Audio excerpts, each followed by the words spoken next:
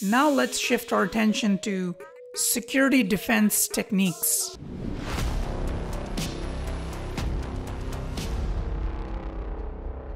The first thing you want to do is develop a security policy. And the way to do that is you define security standards. You develop a policy for protecting companies' physical and IT assets.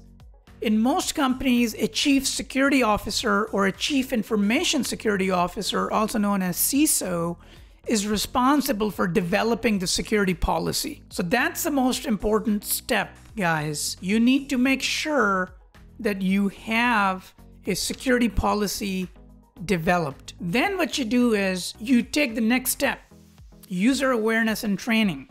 That means you design a formal training program as part of your security policy to educate users on how to protect themselves against various threats that we talked about so far, like malware, social engineering, etc. Make security training and certification mandatory for all employees. Make that part of your HR onboarding plan, for example. And then the final step would be physical access control. So, which could mean providing a security badge to employees. Limit access to various locations in your company, such as an office, data center, etc by providing badge access to employees, contractors, and customers. Now, employees may have a lot of access to all the facilities in your environment.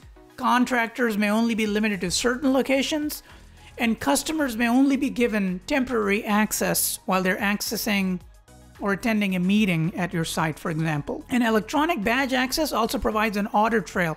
So, a big benefit of having a badge access is it leaves an audit trail. So, when somebody walks into a building, when they sign in, when they sign out, you have all those details captured through an audit trail because the badge identifies who the user is and when they signed in and when they signed out. And if anything malicious happened in that time frame, then at least that audit trail helps you pinpoint if they did something bad while they were physically there on site. And finally, automate the access removal of a terminated employee. I cannot emphasize that enough. Like I said before, as soon as an employee is terminated, make sure not only their access to different systems is removed and IT assets is removed, but also their access is removed to your locations.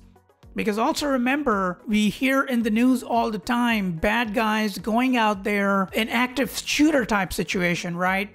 It's absolutely horrific, it's nightmarish, and the best way to protect against that is make sure they don't have access to the office to begin with after they have been terminated. Now, I would be remiss if I didn't touch on one of the key concepts when it comes to a defense mechanism called defense in depth. It's a very, very deep topic I'm not going to spend a ton of time, and this is once again, I'm kind of going beyond a typical CCNA exam, but I'm trying to give you a glimpse of what it takes to implement security from a real world perspective, because this topic is very near and dear to my heart. It's all about deploying security in layers.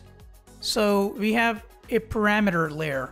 So this is the edge of our network. This is one layer where you would deploy certain type of security.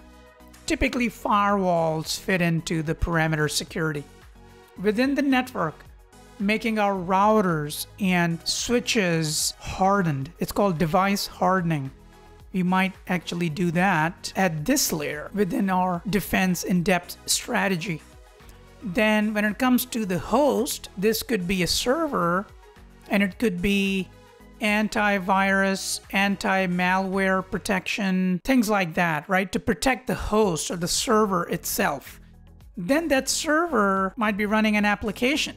Now, how do we protect that application? Once again, we could use things like antivirus, anti malware, different type of mechanisms to protect that application. And then a level deeper is the gold mine, right? Data is the gold mine in our network.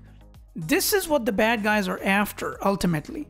For example, if you're Tesla and you build this beautiful electric car, You wouldn't want your intellectual property and secret research and development data to be stolen by a bad guy because all of a sudden that data can now be used by a competitor to maybe start a brand new company that is now competing with Tesla at a much better price point. So what you can see here is security is not as simple as going, okay, I'm just gonna go ahead and buy a bunch of firewalls and it's like one and done type deal. It's never one and done. You wanna peel the onion. You always wanna look at security from different layers perspective and then you have to protect each layer uniquely within your environment to be able to ensure security. Now, once again, even with all these advanced security mechanisms, you're still not going to be able to achieve 100% security.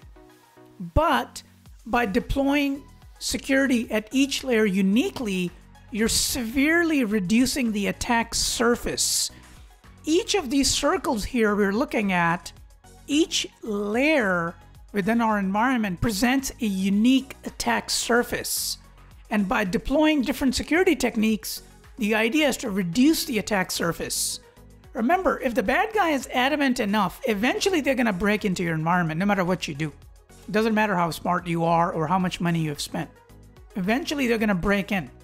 But if you made it so much harder for them that it takes them months or potentially even years to break in, people want to go after easy targets. They don't have that much time. And if you think about the world we live in today, everybody wants instant gratification. If they're going to try and try and try, and after a few days, they're going to probably give up and move on to the other company.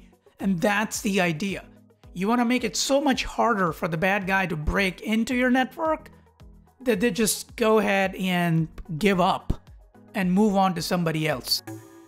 Hope you enjoyed today's video. If you did, give me a thumbs up, hit subscribe, and I'll see you in the next video.